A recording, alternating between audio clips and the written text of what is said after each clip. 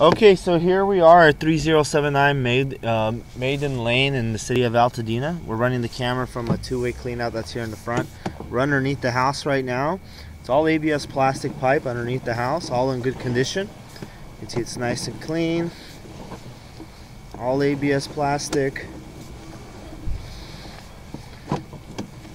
It's all underneath the house.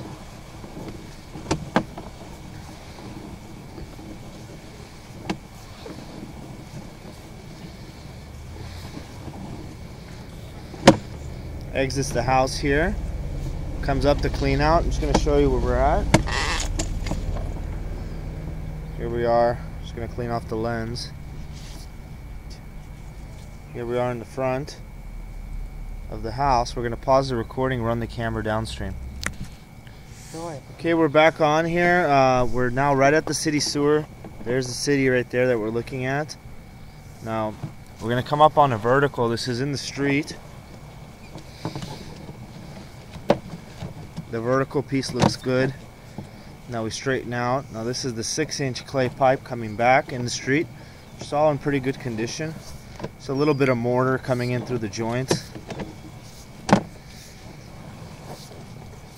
Okay, we're gonna keep coming back. This is still six inch. We're gonna come up to a four inch clay pipe that comes onto the property here.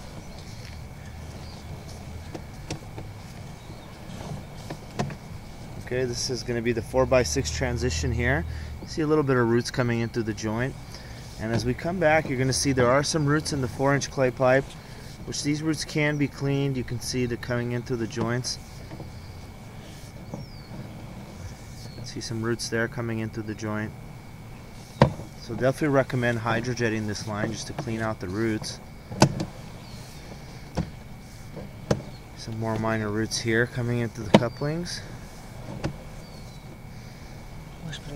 Minor roots here.